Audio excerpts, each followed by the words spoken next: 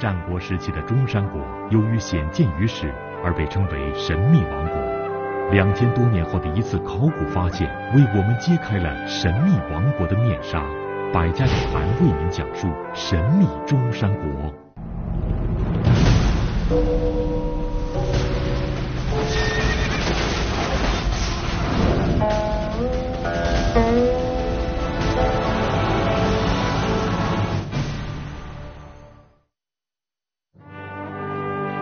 提及两千多年前的战国时期，人们首先会想到齐、楚、燕、韩、赵、魏、秦等战国七雄。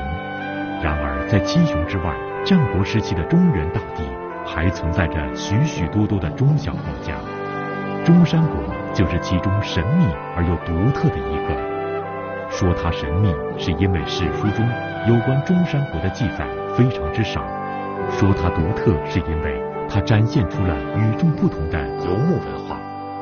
中山国虽然神秘，但两千多年后的我们却能认识了解它，因为随着一次考古发掘的新发现，战国中山国的真容慢慢浮现。百家讲坛栏目邀请河北博物院研究员刘卫华，为您精彩讲述神秘中山国。观众朋友，大家好，在我们河北博物院有一个展览，叫。战国雄风，古中山国展览，很多观众看完这个展览以后感叹说：“哎呀，没想到河北还有这么精美的战国时期的文物。”也有的观众说：“原来呀，提到河北，我们只知道战国时期有燕国和赵国，还从来没有听说过还有个中山国。因为这个国家在长达两千多年的时间里。”被称作是神秘王国。我们都知道，河北古称燕赵，但是事实上，在战国时期，现在的河北省地域，除了有一部分是属于燕国和赵国以外，还有很大一片区域是属于中山国的势力范围的。这片区域包括了现在的河北省中部太行山路以东的广大地区。因为中山国不是周王室分封的所谓正统国家，它的历史又是几起几落，所以在史书上关于中山国的记载非常的简略。关于这个国家的起源、俗属、姓氏等关键性的问题，历来是众说纷纭、迷雾重重。那么，这个神秘的国家是怎么被发现的？事情要从一九七三年的冬天开始说起。这年冬天，在位于现在的石家庄市西北大约三十五公里处的平山县三吉乡，要进行大规模的土地平整，所以要到中旗集村西面的两座双灵台上去取土。当地老百姓所称的所谓双灵台。其实是两座高大的土丘，当时大约高十六米左右。在决定从双灵台取土造田以前，当地政府是向当时的河北省文化局做过报批的，所以当时有考古人员在当地进行了考古调查。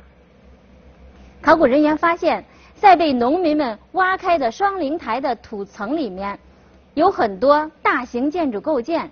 有铜瓦、板瓦、瓦丁式等等，尺寸规格都很大。考古人员又联想到平山县三吉乡一带，在以前就曾经出土过战国时期的玉器和青铜器，所以他们推断，所谓的双灵台应该是古代大型墓葬上的封土。于是，经过向当时的省文化局报批。考古人员在1974年正式进入平山县三集乡，开始了考古发掘工作。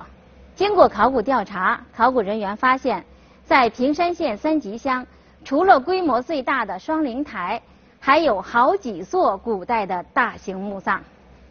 他们分别对这几座墓葬进行了编号，其中双灵台分别被编为一号墓和二号墓。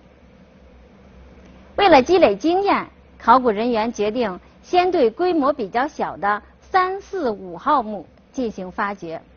但是，当他们打开三四五号墓，却发现这几座墓都已经惨遭盗掘。那么，接下来的其他几座大墓命运又将如何呢？一九七五年，考古人员开始对几座墓中规模比较大的六号墓进行发掘。就在这个时候，出现了一个重要线索。当地的一位村民告诉负责六号墓发掘的陈应奇先生，说在南七集村的刘希梅老人家里有一块大石头，石头上还有字，但是上面的字谁都不认识。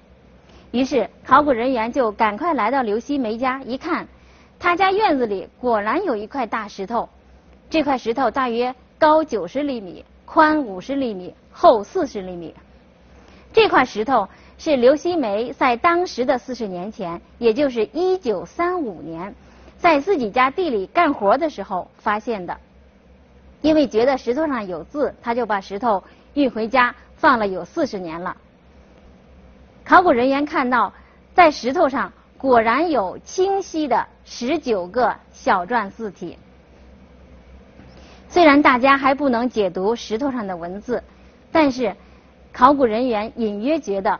石头上的文字也许会对下一步的考古发掘有帮助。于是，考古人员把石头上的文字描摹下来，寄给了研究先秦历史的著名学者李学勤先生。两周以后，李先生回信了，他说：“石头上的文字非常重要，但是为了慎重起见，先要回答他几个问题，那就是。”石头出土的地方有没有高大的土丘？有没有河流水坡？有没有高山？当这几个问题都得到肯定的答复以后，李先生对石头上的文字做了试读，大概意思是：为国王看守捕鱼狩猎园林的大臣龚胜德和为国王看守陵墓的旧将曼。敬告后世善良贤德的人。后来，考古人员把这块大石头命名为首丘克石。这块石头确证了出土石头的平山县三吉乡一带确实是某国的王陵和都城所在地。这一发现让考古人员备受鼓舞。接着，他们对六号墓进行了发掘。但是，考古人员打开六号墓的主墓室，却发现六号墓也曾经惨遭盗掘。就在这个时候，又出现了一个小小的意外：一位参加六号墓发掘的民工，在六号墓主墓室旁边的一个平台上，不小心一脚给踩空了。他踩下去的地方呢，却出现了一个洞。这个洞通向哪里呢？在我国的古代墓葬中，一般来说，盛放棺椁的椁室是主墓室，随葬的金银财宝往往都放在主墓室当中墓主人尸体的周围。但是，是不是也有的墓葬会有例外呢？带着疑惑的心情，考古人员顺着刚才被踩出的那个洞挖下去。果然，在主墓室的一侧发现了一个放置有珍贵随葬品的仓库。接着，他们又在主墓室的另一边发现了另一个仓库。库室跟主墓室是互不相连的。这种独特的墓葬格局，在以前的考古发掘中从来没有出现过。而也正是这种独特的墓葬格局，骗过了历代一批又一批。狡猾的盗墓贼，让中山国的文物珍品在两千多年以后还能够完好的保存下来。有了六号墓的发掘经验，一号墓的发掘就变得相当顺利了。考古人员打开一号墓的主墓室以后，发现一号墓也曾经惨遭盗掘。盗墓贼不单偷走了墓里的东西，还放火。把主墓室烧的是面目全非。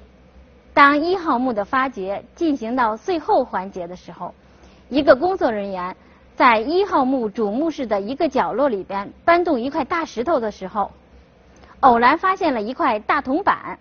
这块大铜板已经被盗墓贼放火烧墓的时候烧得严重扭曲变形了。可能是因为它太沉了，又不怎么值钱，盗墓贼就没把它偷走。考古人员对这块大铜板进行了认真的修复和平整，然后他们惊喜地发现，这块大铜板可不是普通的铜板，而是一件亡灵的建筑规划图。后来，考古人员把这块大铜板命名为“错金银铜板诏狱图”。诏狱在我国古代是指墓地边界的意思，也代指墓地。在诏狱图上。用宽窄不同的金片和银片，详细镶嵌出了陵园中每座陵墓的位置、尺寸和间距。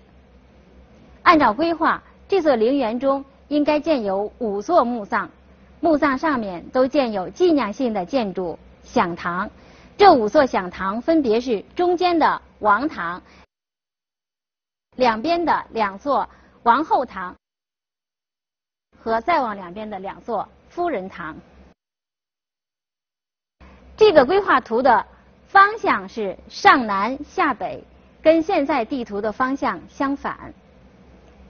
图的比例是一比五百，跟现在建筑工程规划蓝图的比例一模一样。如果全部建成，这座陵园的规模将是长四百八十米，宽二百四十米。但是可惜只建了两座，中山国就灭亡了。这件规划图设计科学，有尺寸、有比例、有方向，是我国目前发现的最早的有比例的建筑规划平面图。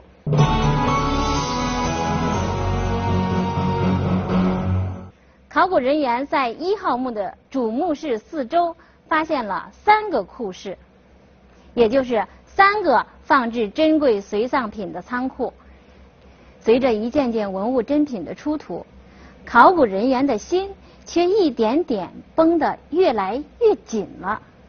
这是为什么呢？因为他们还没有发现带有文字的器物，也就是说，大家还不知道出土了这么多精美文物的这座陵墓究竟属于哪个国家的哪位王侯。一天，负责一号墓发掘的刘来成先生在一号墓的西库做测绘和记录工作。因为西库的上面搭有防雨防水的棚子，所以光线比较暗。但是，就是在这昏暗的光线下，刘先生隐约发现一件大铜壶上面好像有字。他赶快让人把大铜壶抬到光线好的地方。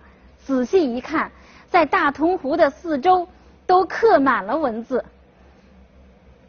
刘先生小心的把文字上面的土锈清理掉，然后发现“中山王”几个字赫然映入眼帘，在场的人都非常高兴。接着，刘先生又让人赶快把原来已经发现的一件大铜鼎抬出来。这件大铜鼎是一号墓出土的。九鼎当中的首鼎，也就是最大的一个，重六十公斤。这件铜鼎呢，它的鼎身是青铜制作的，三条鼎足是铁制的。大家把大铜鼎抬出来以后，仔仔细细的一看，在大铜鼎的周围也刻满了文字，在场的人当时简直是欢呼雀跃呀。后来经过统计。在这件大铜鼎上，有文字四百六十九个，是我国目前发现的铭文最长的战国时期的青铜器。我们刚才提到的那件铜方壶，上面有铭文四百五十个，另外还有一件紫丝铜圆壶，上面有铭文二百零五个。这三件刻有长篇铭文的青铜器。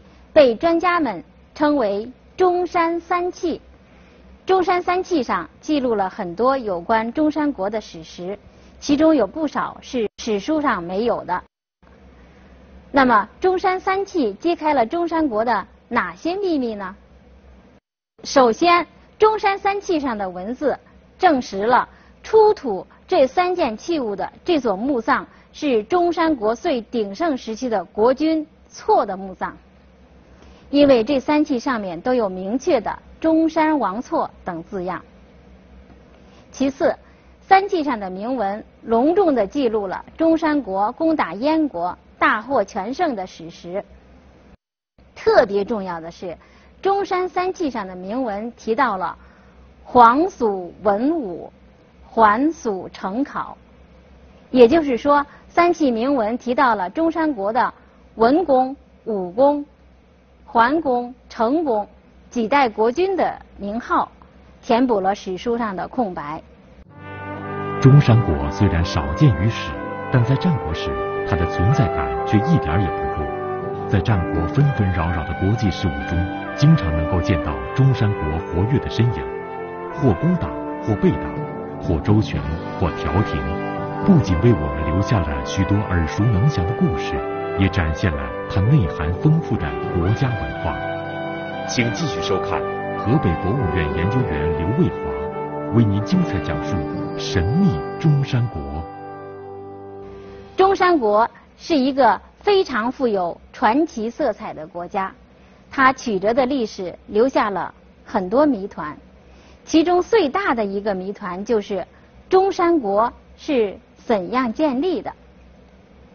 关于中山国的起源，学者们一直有很多种争议，其中呢有代表性的观点有两种，一种观点认为中山国是由春秋时期活跃在太行山路滹沱河一带的鲜虞国更名而来。另一种观点认为，中山国是由陕西榆林一带的白狄族鲜虞部东迁而来。尽管关于中山国的起源存在争议，但是大家比较认同的是，这是一个由游牧民族建立的国家。中山国曲折的历史有很多传奇故事。在战国初期，中山国主要是在晋国的地域内打拼自己的地盘，所以跟晋国的冲突最多。公元前四五七年，中山国在晋国的猛烈打击下一蹶不振，销声匿迹了四十多年，一直到公元前四一四年，中山武功出力。中山武功出力是怎么回事呢？在公元前四一四年前后，当时周围的这几个国家，魏国正在和秦国打仗，想争取秦国的河西之地；赵国呢，因为此前发生了王位之争，所以衰落一时。这个时候呢，中山武功就趁势崛起，在诸侯势力比较薄弱的太行山东路一带建立了新的国都。这个国都的名字叫故，就是赵故的故。这个地方呢，在现在的河北省定州市附近。中山武功复国以后，进行政治军事改革，中山国迎来了新的发展机遇。但是好景不长，武功复国之后没过几年就去世了。新继位的桓公呢，年幼无知，不恤国政，而这个时候。图谋称霸中原的魏国的魏文侯，正对中山国虎视眈眈。公元前四零八年，魏文侯刚刚结束对秦国的战争，夺取了秦国的河西之地，就迅速发动了讨伐中山的战争。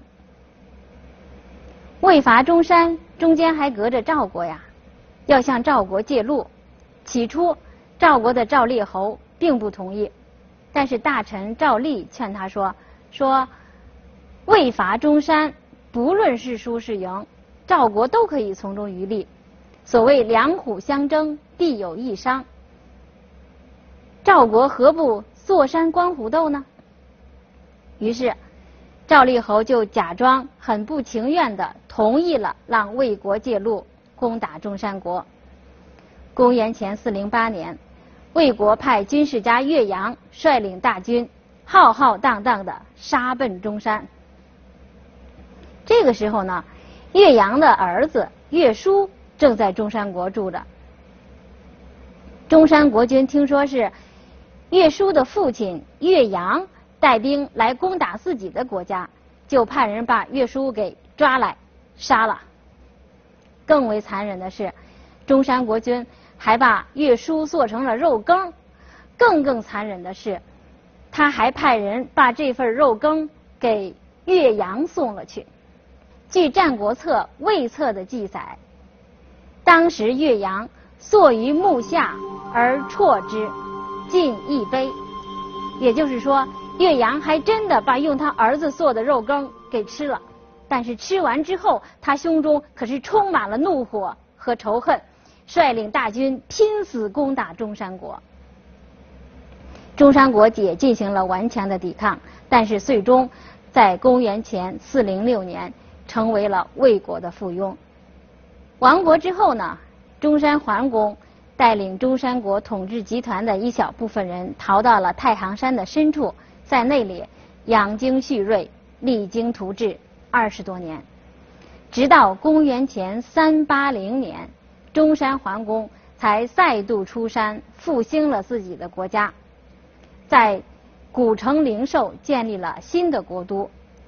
古城灵寿就在现在的平山县三吉乡一带，考古人员所挖掘的中山国的几座王墓就在灵寿古城西城墙的内外两侧。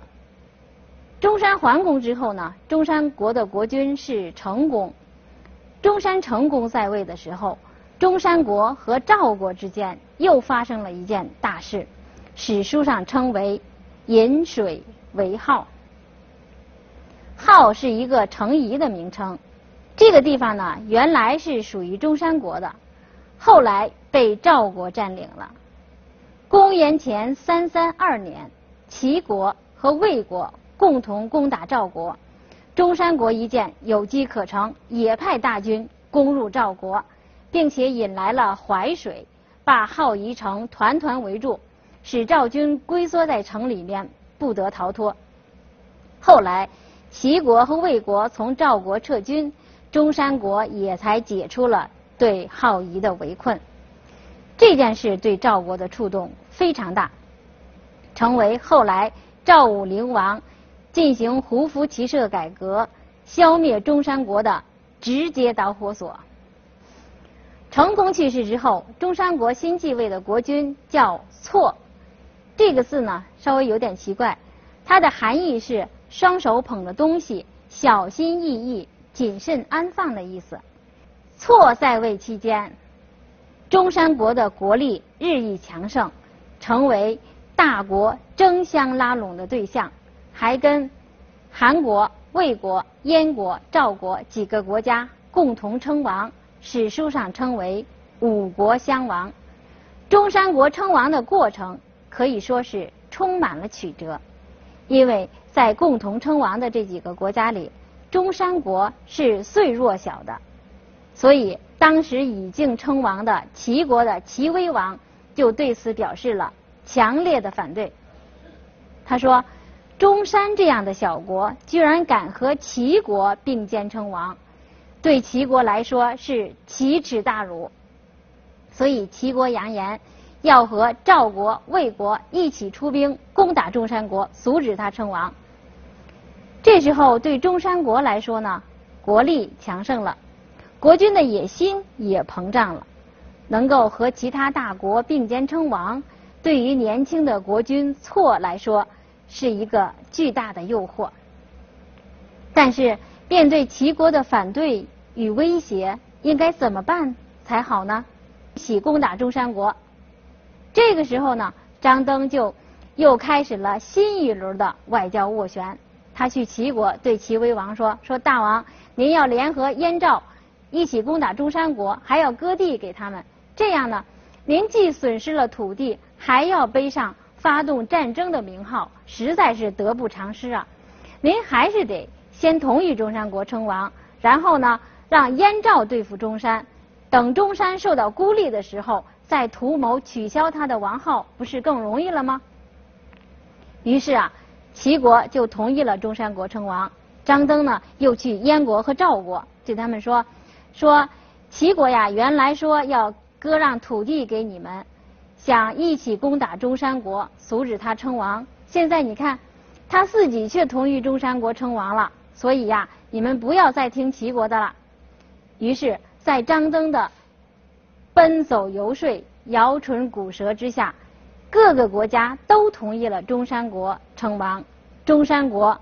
称王成功，五国相王是中山国历史上的一件大事，而中山国君错也成为中山国第一位称王的国君。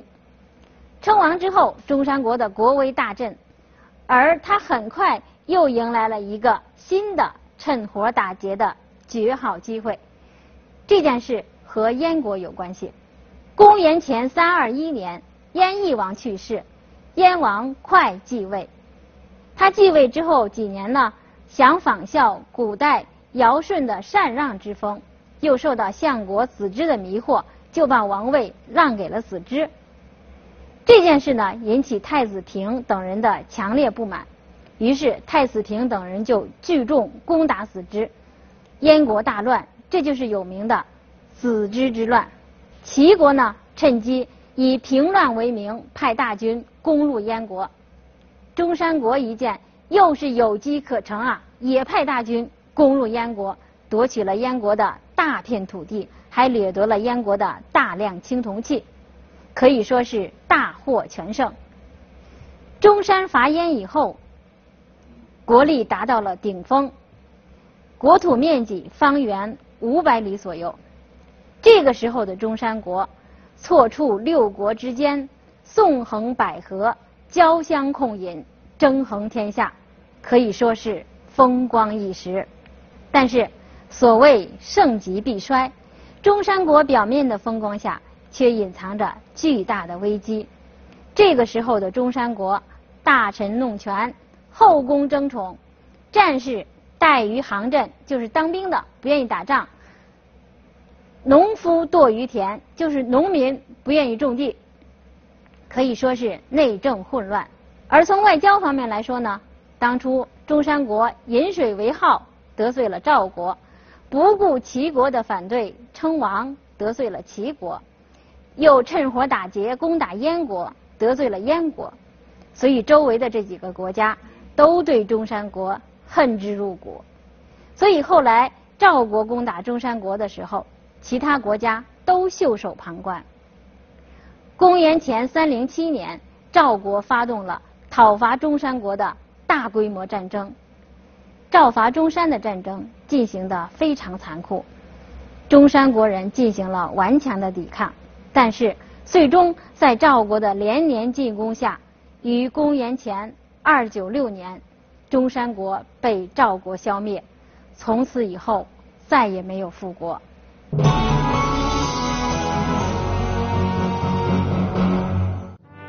在前面我们说中山国具有游牧文化，但是在史籍记载中，我们却不能明显感受到中山国与众不同的游牧文化。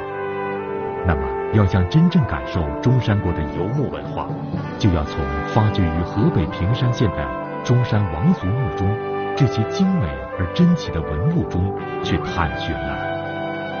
请继续收看河北博物院研究员刘卫华为您精彩讲述神秘中山国。关于中山国，我们讲了这么多，大家可以觉出来，这是一个非常特立独行的国家。中山国这种特立独行的风格，在很大程度上源于它的游牧民俗传统。因为具有游牧民俗传统，所以。尽管中山国吸收了很大一部分华夏文明，但是仍旧有明显的自身特色。中山国的特点呢，概括来说可以归结为三点。第一点就是中山国人非常的有战斗力。中山国人喜欢游猎，英勇善战。在中山国，游猎行为不仅仅是一种游戏，还是一种军事训练。中山国在当时有著名的猎犬北犬，在中山王错墓出土了两具狗的骨架，在狗的脖子上都带有金银项圈。这种金银项圈呢，是用金片和银片制成扁管，然后金的和银的一个隔一个套在皮带上制成的。给自己的爱犬佩戴金银项圈，既说明了国王当时对猎犬的喜爱，也说明了猎犬在当时的受宠地位。中山国的武器装备也非常有特点，比如中山国的战车比其他国家战车规模都要小，它的轮径只有八十厘米左右，非常适宜山地作战，具有非常好的灵活性。中山国在当时还有一种特别的长击武器——木皮铁杖。据《吕氏春秋·贵俗篇》记载。有个叫吴秋鸠的中山人，依铁甲操铁杖以战，而所击无不碎，所冲无不陷。在中山王错墓，还真的出土了一件史书中记载的这种木皮铁杖。铁杖的杖芯儿是铁制的，外面包着木皮，木皮上面缠着丝线，丝线上面涂着红漆。因为年代久远，铁制的杖芯儿已经严重锈蚀了，但是整体形状还在。在杖的两端装饰着青铜制的杖孙和杖帽，杖孙和杖帽上都装饰着美丽的错金银纹饰，华丽的装饰说明当时中山国王应该是非常喜欢这件武器的。中山国的第二个特点就是中山国人非常的。善于享乐。据史书记载，中山国丈夫相聚游戏，悲歌慷慨，为昌忧；女子则鼓鸣瑟，贴喜，游媚富贵，入后宫，变诸侯。也就是说，中山国的男的喜欢聚众作乐，女子呢则多才多艺。其中提到的贴喜。是一种脚尖着地的舞蹈，有点像现在的芭蕾舞。在中山国王祖墓还出土了一件表现当时耍蛇艺人形象的文物，这就是银手人俑铜灯。在这盏灯中，人俑的头是银制的，眼睛是黑宝石镶嵌的，到现在仍旧熠熠生辉。我们看任俑的右手。握着一条蛇，蛇头顶着高高的灯柱，灯柱上托着一盏灯盘。他的左手也握着一条蛇，蛇头顶着另一盏灯盘。另外还有一盏灯盘是平地放置的，里面又有一条蛇在曲曲盘绕。这个人俑衣着讲究，笑容可掬，风度翩翩，显然对自己的表演非常满意。中山国的第三个特点，中山国人非常的善于创造。在中山国出土的文物中，有很多都是独树一帜、独标一格。比如这种铜山四形器，就是中山国特有的青铜器造型。山四形器的器型非常巨大，大的高达一点四三米。它的上半部跟汉字“山”的造型非常相像。下半部有圆筒状的穹口，可以安插在木柱上，象征中山国王的权威。中山国人呢，长期在太行山东麓一带活动，正是借太行山的庇护与滋养，中山国人才能一次又一次的东山再起。这种铜山字形器，就表现了中山国人对大山深深的崇敬之情。现在大家看到的是。错金银虎石鹿铜屏风座，我们看这个屏风座，它的造型也非常的独特。这件文物的整体造型是一只老虎正在捕食一只小鹿，老虎体态威猛，小鹿正在虎口当中无力的挣扎。我们看老虎的右前爪，因为正在抓鹿，所以是腾空的。那么。怎么保持老虎身体的平衡呢？聪明的设计者巧妙地借用了小鹿的三条腿儿用它们来支撑住了老虎的前半身。在这件文物的表面还装饰着老虎和小鹿皮毛的斑纹，这种斑纹都是用宽窄不同的金片和银片镶嵌错磨上去的，显得光彩华丽。我们再看老虎的脖子和臀部还有两个长方形的插口，这两个插口是做什么用的呢？原来呀，这件文物是插放屏风的一件屏风底座。老虎弯曲的身体正好配合了两扇屏风之间的夹角，在它的两边还分别有一只铜牛屏风座和一件铜犀牛屏风座，三件文物正好支起两扇屏风。这件错金银四龙四凤铜方案座也是一件罕见的文物瑰宝。我们看它的结构。非常的复杂，在暗色的底部是一个圆形的底盘，这个底盘是由四只小鹿来承托的。这四只小鹿当中呢，有两只是长角的雄鹿，有两只是没有角的雌鹿。在底盘的上面呢，站立着四条独手双身的神龙。独手双身就是每条龙都有一个头，两个身子。每相邻两条龙的身体呢，在中间相交，形成一个圆环儿。在圆环当中，又有一只凤鸟引颈而出。凤鸟的翅膀优雅地搭在龙身上，龙凤呈祥，美丽和谐。我们再看，在四条龙的龙头上，还分别顶着四只斗拱。我们都知道。斗拱是应用在古代建筑中挑檐结构上面的。这件文物中的斗拱就是仿照战国时期木构建筑中挑檐结构的形式制造的，是目前发现的唯一的战国时期的斗拱应用实例，十分的宝贵。在这件文物的表面还满满当当的装饰着错金银纹饰，非常的繁复。非常的精巧，可以说是巧夺天工。在中山王族墓，一共出土文物一万九千多件，除了青铜器，其中的玉器造型别致，具有浓郁的中山风格。观众朋友，战国中山国历史起伏跌宕，文物奇美璀璨。关于这个国家，我们知道了很多，不知道的仍旧有很多。我们希望关于中山国的那些未解之谜，能够在将来的考古发现中找到答案。好，观众朋友们，战国中山国就为大家讲到这里，谢谢。